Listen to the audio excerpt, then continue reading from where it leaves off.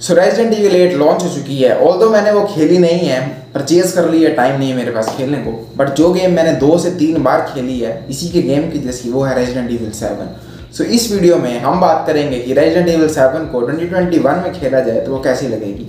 मैंने कल ही रेजिडेंट ईविल 7 फोर्थ टाइम पार की है। So let's see what my opinion stand as of right now video को शुरू करने से पहले मेक श्योर लाइक चैनल को सब्सक्राइब एंड प्यार से कमेंट छोड़ दो let's begin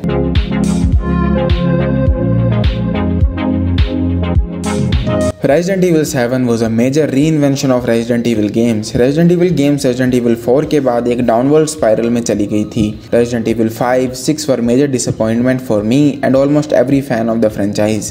Resident Evil 6 के बाद कैपकॉम को कुछ न्यू ट्राई करना था। अदरवाइज़ फ्रेंचाइज ख़त्म हो सकती थी। तब उन्होंने एक गेम बनाई जो कि काफ़ी डिफरेंट थी to the other Resident Evil games in many many ways Resident Evil 7 after long time एक हॉरर गेम थी filled with action instead of an action game filled with horror इसका सबसे बड़ा प्रूफ रेजिडेंट ईविल 7 के new perspective में था, जो कि for the first time ever in the franchise first person था।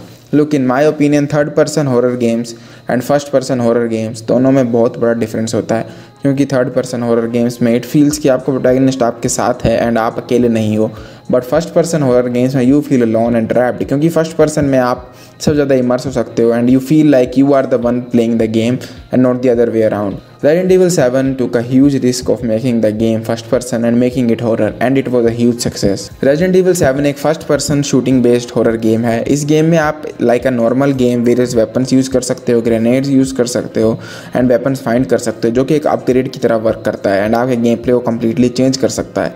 इस गेम को आप एज अ स्टेल्थ भी खेल सकते हो जिसमें आप अपनी वेपन्स के यूज़ को मिनिमाइज़ कर सकते हो एंड स्टेड अपने फ्रेंडली नाइफ को यूज़ कर सकते हो।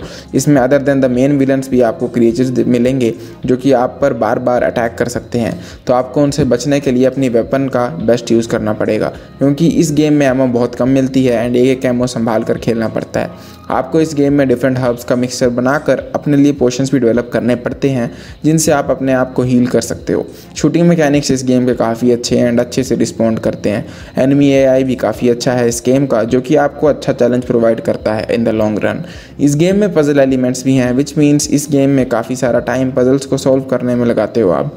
इस इस गेम के पजल्स काफ़ी ज़्यादा क्रिएटिव हैं एंड हर एक पजल एक ब्रेथ ऑफ़ फ्रेश एयर लगता है। ये गेम 2017 की one of the most good looking games में से एक थी। इस गेम का एक एक टेक्सचर ब्यूटीफुली डिजाइंड है एंड ऑलमोस्ट रियल लगता है। ग्राफिक्स में one of the biggest strength इस गेम की लाइटनिंग है, जो कि बहुत ही ज़्यादा सुंदर है। एंड हर एक चीज़ को न्यू लाइफ सी दे देती है। इस गेम में करेक्टर एनिमेशन भी टॉप नॉच हैं। ऑल दो हमें अपने करेक्टर का फेस तो कभी नहीं देखने को मिलता है बट स्टिल जो भी बाकी लोगों का फेशियल एनिमेशन है वन ऑफ़ अ काइंड है। एंड आज भी अच्छे से होल्ड अप करता है।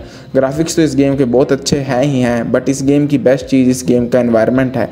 ये गेम सेट है एक ओल्ड हाउस में, जो कि काफ़ी जगह से टूट चला होता है। जो डिटेलिंग से इस गेम के हाउस को डेवलप किया है, वो बहुत ही अपलोडेबल टास्क है। एक एक कॉर्नर पर एक एक शेल्फ अच्छे से एटमॉस्फेरिकली डिज़ाइन की गई है, जिससे इस वर्ल्ड में आपको काफ़ी अलाइवनेस फील होगी। इस गेम में बहुत अच्छी कास्ट ऑफ़ करेक्टर्स है। हर एक करेक्टर अच्छे से डेवलप किया गया है एंड इट इज़ आयरॉनिक क्योंकि हमारा अपना करेक्टर ईदन विंटर एक मम्मी जैसा फील होता है and in my opinion Ethan Winters is one of the worst Resident Evil character Ethan Winters में बिल्कुल भी करिश्मा नहीं है मोस्ट ऑफ़ द टाइम एक लाइफलेस बॉडी लगता है. ईदन विंटर्स हर टाइम कंफ्यूज रहता है इवन दो सब कुछ ऑब्वियस होता है. अदर देन ईदन विंटर्स इस गेम की कास्ट बहुत अच्छे से डेवलप की गई है. मेरा फेवरेट करेक्टर इसमें ईदन की वाइफ है, जो कि इस गेम की स्टार है. उस करेक्टर ने अपना हंड्रेड दिया in making the scene feel brilliant and worthwhile Bakers की फैमिली वेल रिटर्न रिटर्न है with the dad being the most tragic of them all जब इस गेम के फ्लैशबैक देखने को मिलते हैं तो you will know how much of a good man he was but उसको किस तरह से एक मोस्टर बना दिया गया। Let us talk about the most important aspect for me in a video game it's story इस गेम की स्टोरी मेरी फेवरेट रेजेंट इवल स्टोरी है। इस गेम की मेन प्लॉट लाइन है कि आपको अपनी वाइफ रेस्क्यू करनी है। इन अ हाउस जो कि हॉन्टेड है। But I G progress in the game ये गेम एक लेड करेक्टर के बाद दूसरा लेड करेक्टर प्रेजेंट करती है एंड गेम की स्टोरी को बहुत ज़्यादा एक्साइटिंग बना देती है। इस गेम में कई सारे मेजर ट्विस्ट एंड टर्न्स भी आते हैं, जो कि आपकी गेम को बार बार फन रखते हैं एंड मैं स्पॉइल नहीं करना चाहूँगा। ये गेम की स्टोरी बहुत टाइम बाद एक गुड रेजेंट इवल स्टोरी थी एंड उसका one of the biggest reason है कि for the eighty percent of the game आपको अम्ब्रेला कॉरपोरेशन एंड उससे रिलेटेड किसी भी चीज़ के बारे में नहीं बताया जाता है। एंड आप इस इस गेम की एक्चुअल स्टोरी को प्ले करते हो। एंड आप हर सेकंड गेस करते रहते हो। कि whether you are fighting a virus और अ रियल लाइफ जोम्बीज तो इस गेम में आपको वो कॉरपोरेशन वाली बुलशिट कम ही देखने को मिलेगी। इस गेम को मैंने पहले 1050 fifty T I graphics card वाले कंप्यूटर पर प्ले किया था एंड अब 1080 एटी टी आई वाले पर प्ले किया है। एंड ये game both of the time बहुत अच्छे से प्ले हुई थी। ये गेम बहुत अच्छे से ऑप्टिमाइज की गई है एंड आपको बग्स एंड ग्लिचेस देखने को नहीं मिलेंगे।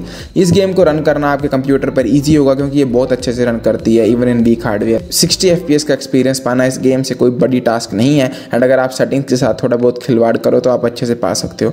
अगर आपके पास एक एवरेज कंप्यूटर है तो आप इस गेम को इजीली रन कर सकते हो। कंसोल्स पर भी इस गेम की परफॉर्मेंस बहुत अच्छी है एंड कोई इश्यूज़ देखने को नहीं मिलेंगे। Resident Evil for me will always be my horror game alongside Resident Evil four Resident Evil seven एक एग्ज़ाम्पल है कि किस तरह री के साथ एक डेड फ्रेंचाइज को रिसेक्ट किया जा सकता है एंड फ्यूचर में उस फ्रेंचाइज को और भी बड़ा किया जा सकता है। Resident Evil seven will be one of the best video game experiences you will ever have no matter in which year you play this game and this game is one of a kind even in 2021 ये game आपके time की worth होगी and आपको अच्छी लगेगी। I would recommend you all to try this game this year and Resident Evil eight से खे, पहले ये गेम खेलना ज़रूरी है ही है क्योंकि वो डायरेक्ट सीक्वल है इस गेम का।